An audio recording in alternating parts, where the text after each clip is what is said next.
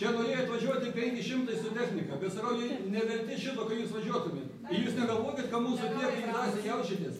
Mes galim sukelti tokį vėją čia jums, kai jūs būtumėt šiandien į Seimą neparvažiavę. Ir mes padarysim šitą. Mes savo dieną paimti papartį. Dar vienas dalykas, mes, kai laiškais kreipėmės, tai kreipėmės į visas ministerijas. Tai vienintelė Žemės ūkio ministerija atsiuntė mums specialistus, kad paaiškintų apie melioraciją. Mes iš pat pradžių domėjomės tik melioracija, kaip bus su melioracija žvalgyba. Ir jie atsiuntė specialistus. Ir yra oficialus laiškas, kad tikrai melioracija bus sugadinta. Tai vienintelė- Taip, per seisminius tyrimus.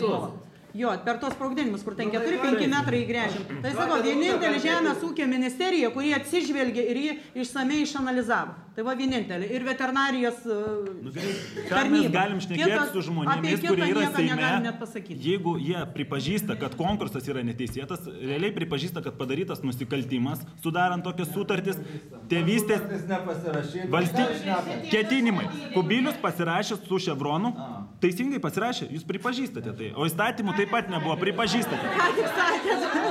Tėvinės išdavystė kaip Jūs minimum. dabar spekuliuojate įvairiais Ne, ne įvairiais. dalykais. Nauda tik tai. Kokia tada nauda yra? Skyrė žvalgybą ir jūs sakėte 80 milijonų, tai čia, nu, ne pinigai, tai kodėl negalite atlikti? Kodėl mes atiduodam amerikonai? Ir, ir ko- kodėl jis toks geras dėdė, atlik žvalgybą, nieko neranda, susideda čia Klausimas, klausimas yra praeitos kadencijos vyriausybė. Tai ko jūs sėdite? Tai ko jūs sėdite? Tai ko jūs tada. Ševronu. O kaip jisai galėjo pasirašyti, jeigu nėra įstatymų, nebuvo įstatymų?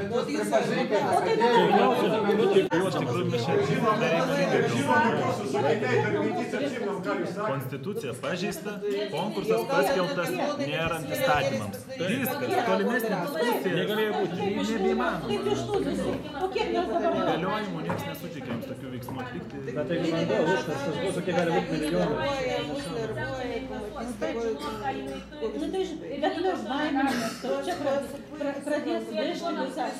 Amerikos e, gigantams, korporacijoms. Morosų giminės nėra girdėjusi.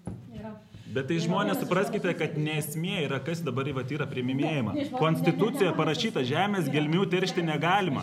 Kaip jūs galėjote apskritai tokiais įstatymų pataisas teikti? Ir kaip galima buvo skelbti konkursą, kaip jam nebuvo netgi reikiamų įstatymų išleistų? Tai. Konkursas buvo skelbtas, žinot kada, tai įstatymų.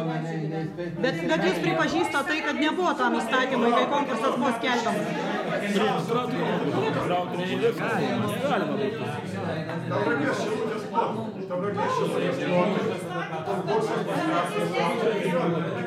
Bet jūs pripažįstate tai, kad konkursas buvo paskelbtas nesant įstatymui.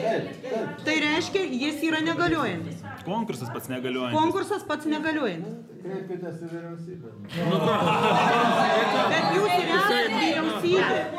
Ir jūsų, kas turite Žemės ūkio ministeriją, kuri, kur, kuri yra atsakinga už vis. Ir vien... valstybinių lygių, tai eina testinumas, nu jisai buvo galiojantis, negaliojantis, valstybė turės nešti įstatymus pataisyti. Tai yra nusikaltimas. Už nusikaltelius valstybė piliečiai neturi atsiskaitinėti. Pareiškit pretenzijas, perėmėte. Dabar dar vienas dalykas. Mes dabar laižomės iš tos situacijos. Dabar, jeigu gali... Viskas čia buvo prie anos kadencijos. Jūs įstatymą dabar palaikėt, kai balsavot už pataisas. Tai tuos praėjai. Anu- Anuos vyriausybės, praeitos vyriausybės įstatymą. Jūs palaikėt. Tai jūs palaikėt. Jūs suprantate, kad Patai- Pataisas vėl. Nuodėmų, nuodėmų. Vienodai, vienodai su pasirado, susidarė per balsavą. Dabar išaugot, kad viską nuo partijai padarė.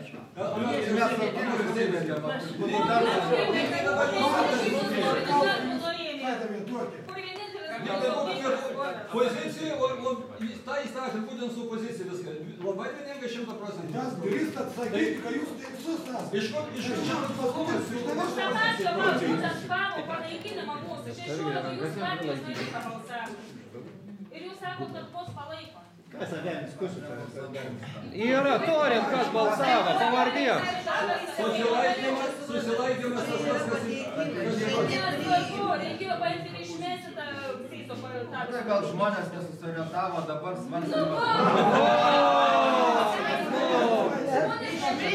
apsimetinėjimą. Žmogų nuteisti mirties bausmę nušaus. Nušausto, sakysiu, klydau.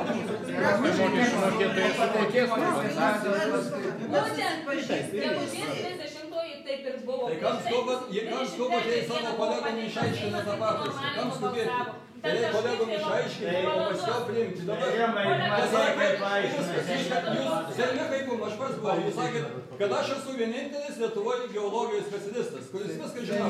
Seime tai pasakė. Seime. Taip, nu tai tokio protingo žmogaus yra.